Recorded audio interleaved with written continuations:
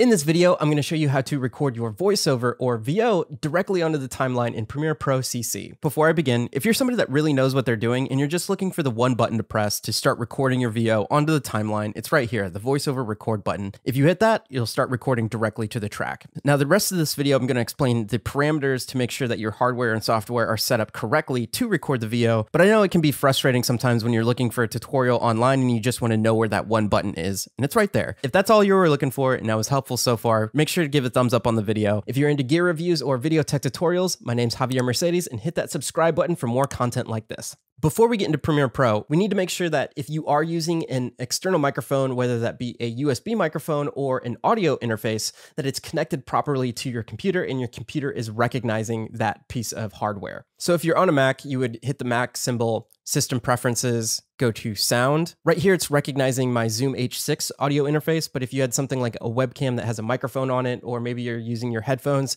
you would click something like that. Now that I know that my audio interface is interacting with my computer correctly, we're gonna make sure that Premiere Pro is recognizing the audio interface as well. So we're gonna go up to Premiere Pro, Preferences, Audio Hardware, and right here under default input, I'm going to switch this to my H6 it'll give you a pop-up, hit yes, and now I know that my H6 is interacting with Premiere Pro. In the timeline, go to the audio track that you want to record your voiceover onto. For this example, I want to record onto audio 2 right here. And in this little gray space in between the mic and your clips right here, we're going to right click and go to voiceover record settings. In this pop-up box, the first thing I want to look at is the name. So this is going to be what your files are going to be labeled as as you record their VO. So for example, I'm going to name this VO. That means every single time I record a file, it's going to go VO underscore one, VO underscore two, VO underscore three, and so on and so forth. I highly recommend renaming your track. That way you can keep better track of your files. The next parameter is the source, and we already chose this in Premiere Pro in that audio hardware preferences window. But if you didn't do that, you could do it here. And right now it's the H6. If you have multiple inputs on your audio interface, this is where you would choose the specific input of where your microphone's going into.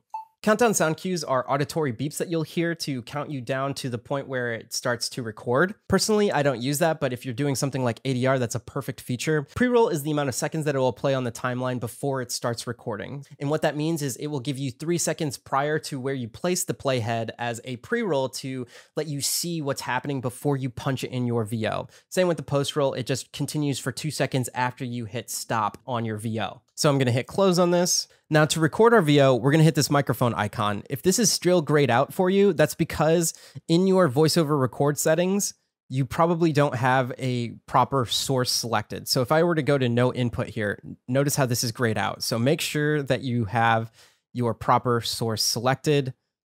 And if you are talking into that microphone, you can actually reference what's going on here. Close it out. At this point, you can go down here and hit the voiceover record button, and that will give you your pre roll countdown on the program window.